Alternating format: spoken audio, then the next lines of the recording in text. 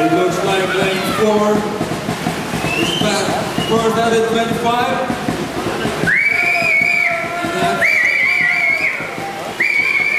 Good from Sweden. Looks like Louise Ericsson has the lead.